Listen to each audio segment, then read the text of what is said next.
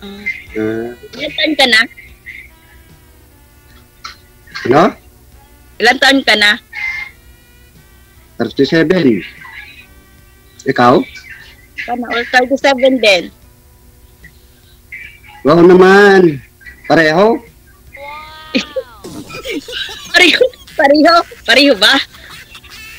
Kailan ka magta-38? Ano po? Kailan ka magta-38? Ah, sa December po. Magta-38 na. Mm. Saan ka na sa ngayon? May anak ka? Meron dalawa. Ilan Pero- taon na sila? Ha? Nasaan sila? Nasa sayo? 14 at 7. 14 at 7. Ikaw? Ilan anak mo? Dalawa din. Hmm. O, di ba? Uy, pas tayo. Baka, baka tan na to. Ilan taon ka Bagay na yan. iwalay? Seven years. Seven years. Ikaw? 13 years. Oo naman, ang tagal. Oh, yes, ang tagal na. Ba, ba't, ba't ano nangyari? Walang nangyari. Ha? Nangyari? Nang- Nangawalang bahay. Nang bata ba yung Yun. asawa mo o ano? Hindi. Eh, grabe ka naman. Buhay siya. Ando lang na nga bilang bahay lang.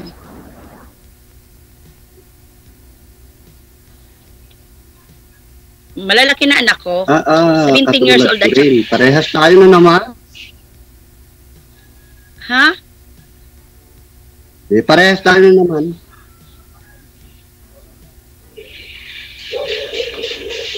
Pati din ako na nga nasa kabilang bahay.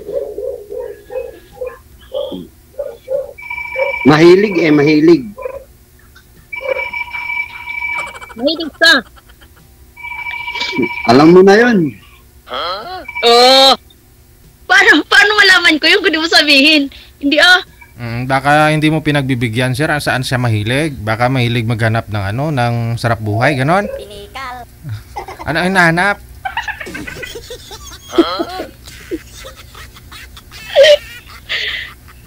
Siguro mahilig ka kumain, no?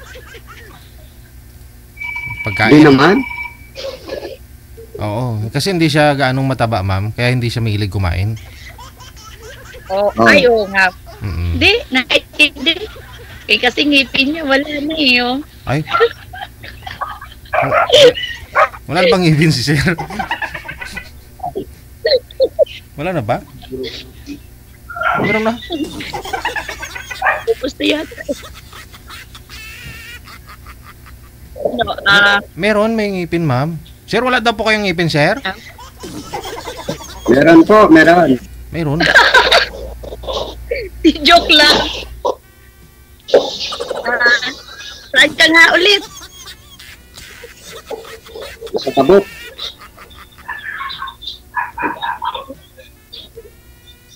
Province doon? Province of uh, Kalinga. Ah, ano-ano mo dyan? Ano hanap buhay mo?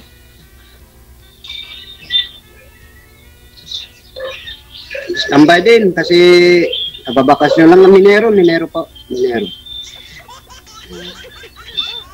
Ikaw, anong hanap buhay mo dyan? Ah, maliit lang ano, sari-sari store. Yun lang. Ayos naman kung sa ganun.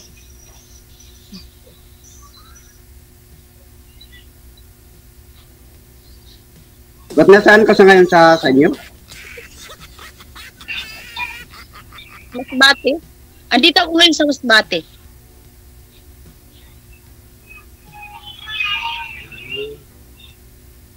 Okay naman. Ano anak? Wala akong Babae masabi. Ikaw, mag, ikaw nga magtanong. Magtanong ka naman. Hindi po ako. Babae at lalaki. Mabait lalaki. Ikaw. Anong anak, ay, ang mga anak mo, lalaki o babae? Ano, an isa lalaki pero ngayon binabain na siya. Tapos yung isa babae.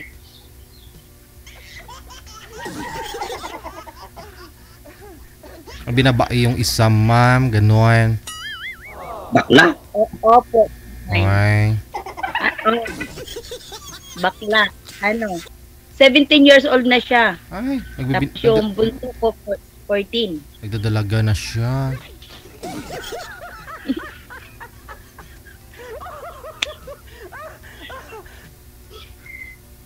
Yung dalawang anak mo, andyan sa'yo? Sa kanyang nanay. Kinuha eh. Ayaw nila sumama sa akin. Kinukuha ko. Pero ayaw nila. Bakit daw, sir? Eh, hinayaan ko na lang. Bakit ayaw nila sumama sa'yo, sir? Sumama pero hindi magtagal. Ang gusto kong sana eh, magtagal sila pero di naman sila tatagal. Umuwi na naman. Hindi hinayaan ko na lang. Pero kumpleto naman, pinapakain mo naman, ganon. Oo, pinapakain ko naman sila ng maayos. Oo. Eh, bakit naman po, sir, ano, ba't ho kayo wa- walang trabaho ngayon? Dati po ano trabaho ninyo? Ah, hindi na po ako pumasok sa ating trabaho sa ngayon kasi kasamang paki- pakiramdam. Oo. Ah, absent ka lang ngayong araw. Oo, absent. Oo. Mm-mm.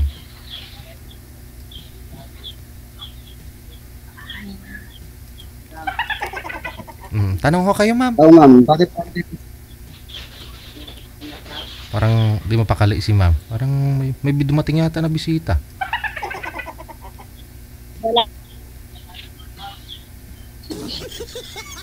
May bisita yata sa BG. Hindi. Bumili. Bumili siya. Ah, okay. Kasi sa tindahan, Tanong na. sa tindahan si ma'am. eh. Tanong.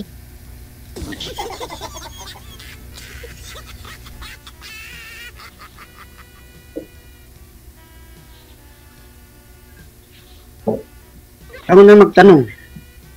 Ay, ang dami ko na tinanong sa'yo. Wala na akong maisip.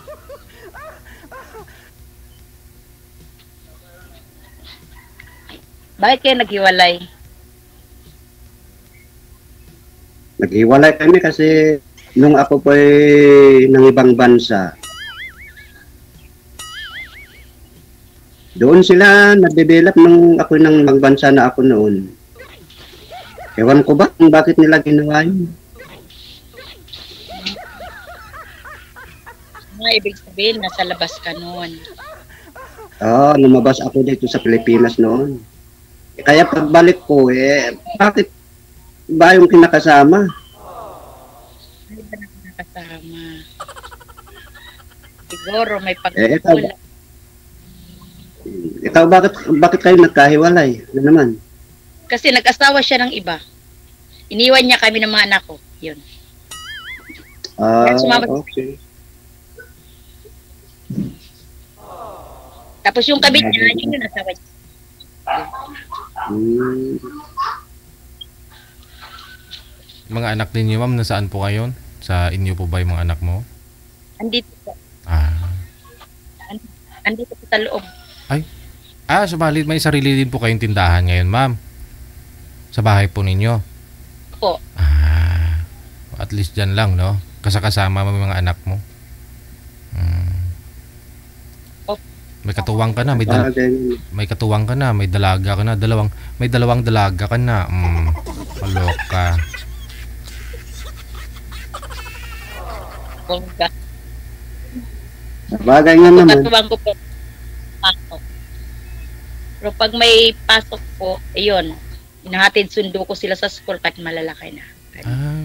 Tapos, Lalaki, Ah, lalaki na yun, 17 na, di ba? Ilang taon? 17 at saka 17 at saka 14 po. ah, 14. Mm.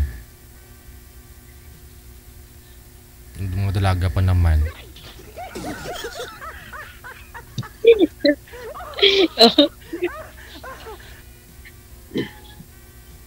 eh, kung sakaling eh, kung sakaling tayo magkatagpo eh, ba, bali apat yung magiging anak na natin. Diba? Bakit pupunta ka ba dito sa Bate? Malay ko ba, eh, hindi natin alam yung ano, araw. Malay mo ba bukas, eh, andyan na ako.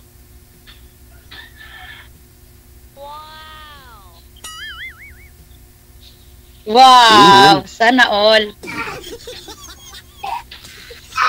Agad-agad? Eh, ano ba ginagawa eh? Di agad. Wala ang problema.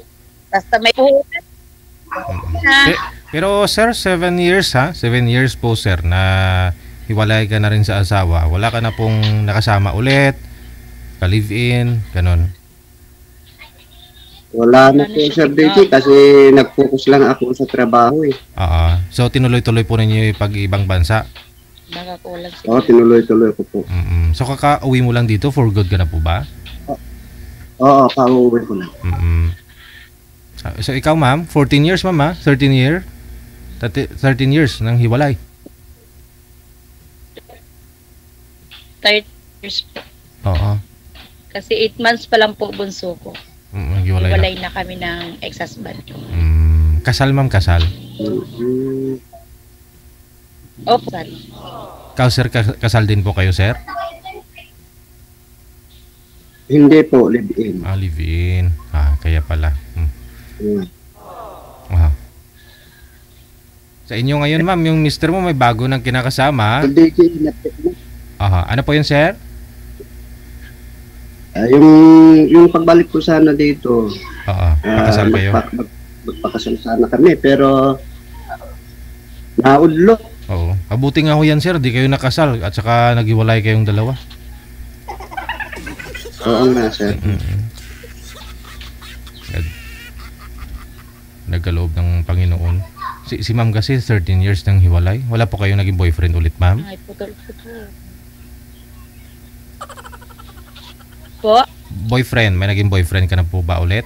13 years?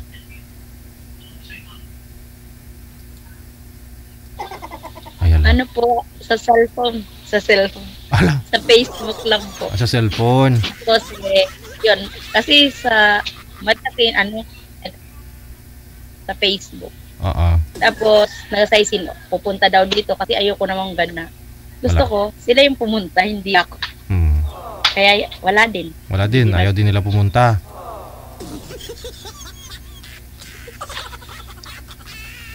Baga. Kung ako, edi puntahan kita bukas, Hindi pwede ba? signal. Oo. Diretsahan lamang para di sayang ang oras. Ano ma'am? Bukas daw ma'am. Wala. Oo. Putol-putol ka, hindi na yata ng signal. Oh. Kasi ako wifi gamit ko. Sa inyo po ma'am, mahina ma'am eh. Marami yata nang kikabit sa wifi ninyo. Mas okay pa po yung data. Mahina yung. Ah. Siguro. Sabihan mo ho yung kapitbahay, kamo wag kayo kumabit kasi naghanap akong kabit. Kabi, ah, asawa!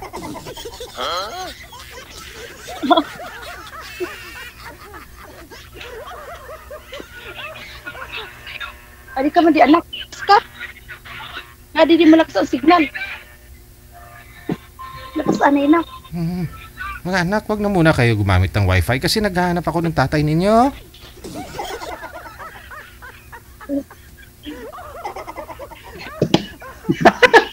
Malakas yung signal. Ayun. Yun. Siguro. Ayun na, lumakas na ma'am. Panganay ko yun. Ah, Panganay.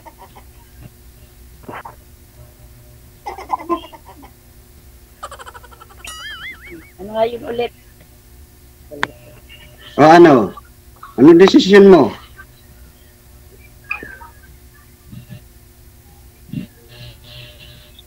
May na pa rin signal ko. Okay, Dito na nga, full na nga to eh. okay na po ma'am, okay na po. O ano daw po desisyon mo ma'am? Mag-asawa ka o boyfriend-boyfriend lang? Oh. Hindi po, DJ. Aw, po. Depende po. Oh. Depende sa... Hindi naman po basta-basta kasi ang asawa agad-agad. Oo. Kasi ano, depende kasi ni. Oo. Kasi hindi naman agad eh, may anak.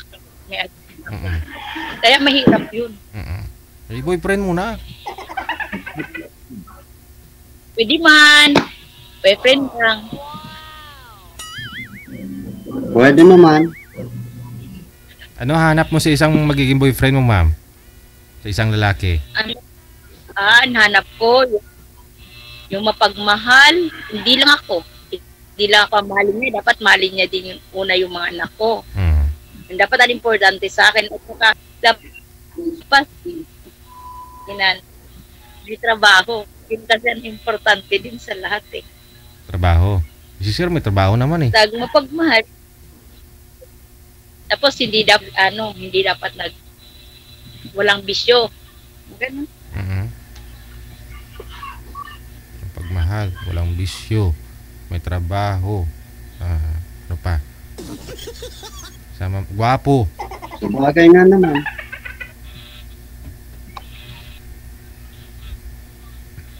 Ako rin, hindi naman ako gaano, hindi ako naninigarilyo.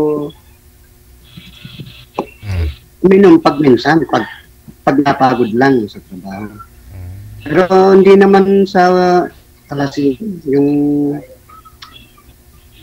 control lang ba? Kung Pang patulog lamang. kaya lang umuwi, maglakad, ganun. Mm. Pero hindi ano. Oo. Ganun. Ah.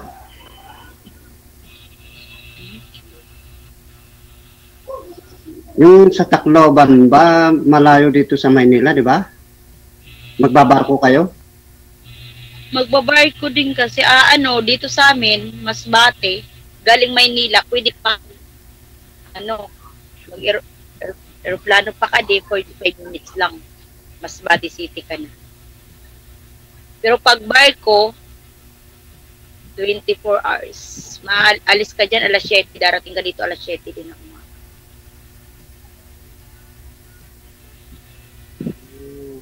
Malayo ah.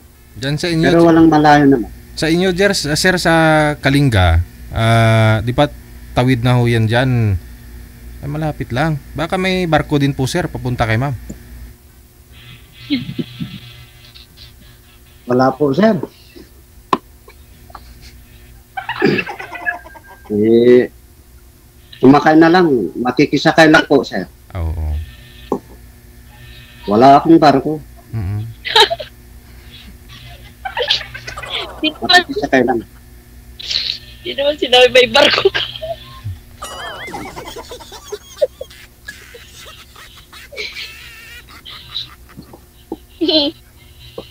may ano, Yan. may sakyan ka. Yun, mag, an- pwede naman yun Google eh.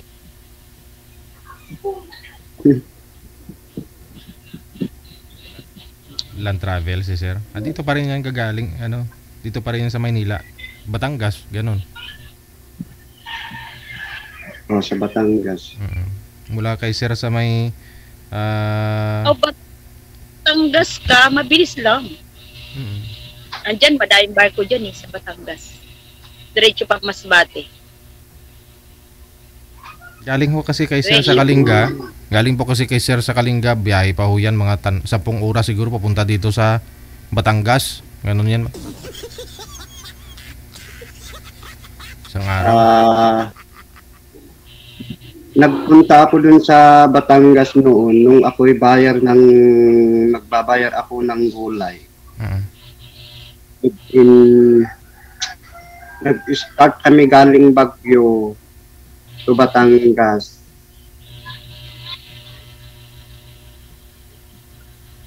Twelve hours, 12 hours. Oh, diyan mga 12 Bagyo hours. to oh, 12 hours? Bagyo to Batangas. Marayo man. Layo. Malayo nga eh. Pero, hindi naman problema yung malayo kung talagang pag-ibig ang pag-uusapan, wala, wal, walang kalayuan. Diba? Mm.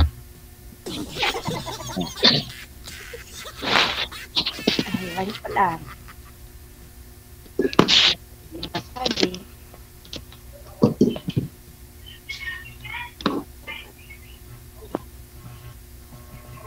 Andyan talaga sir bahay nyo. Bahay nyo talaga Ah. po yan. Oo. Yung kasama mo sa bahay. Mga pamangkin ko. Mga kapatid, ganun. Living tayo sa bayan ng nanay nyo. Ng magulang nyo. Oo.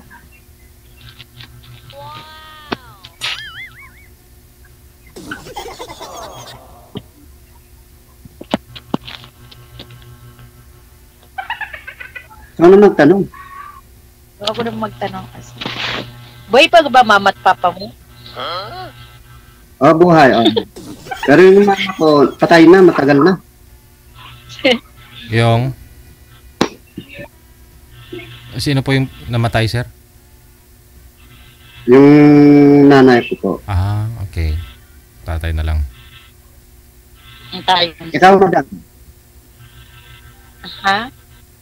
Patay na sila parehas. Ito ba yung mga magulang mo? Patay na sila parehas. Ah, five years old lang ako, patay na nanay ko. Pagdating kong 15, yun, papa ko naman. Ba't putol-putol yung salita mo, madam? Umina na naman kasi ang signal mo, sir. Si ano, mama ko, namatay mama ko 15, ay ano, 5 years old lang ako. Tapos pag 15 years old ko, namatay naman papa ko. Ah, ganun ba? Sakit naman. Pero ayan, malaki ka naman. We, sure ka? Baka salita ka lang. Hindi man.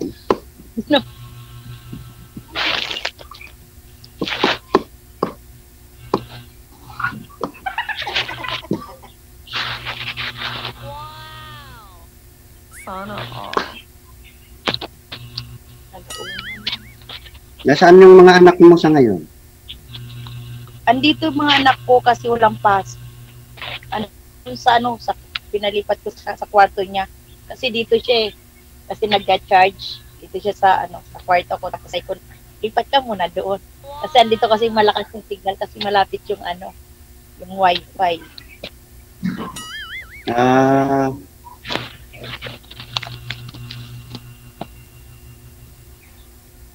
pangatay ko yun. Yung dito nagtambay kanina sa kwarto. Oh, kumain na po ba kayong dalawa? Hindi pa. Kumain tapos ka- na po, Sir Deji. Ah, tapos na. Ewan ko lang kay madam tapos na. Ikaw, ma'am. Opo, okay na po. Mm. Bagay nga nun. Andiyan sir, asawa mo, dumating. Wala. Ewan ko ba kung nasaan siya sa ngayon. Wala ka kami komunikasyon sa kanya. Ah, ganon. Hmm.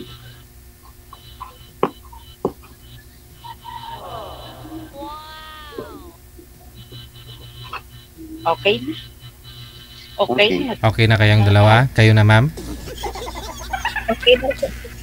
Thank you so much, DJ. Sige. No, thank you so much, ha. Good luck po sa inyong dalawa, sir. Maraming salamat. Okay, sir. Bye-bye. Maraming salamat. sir. Wanted, sweethearts. Wanted, sweethearts.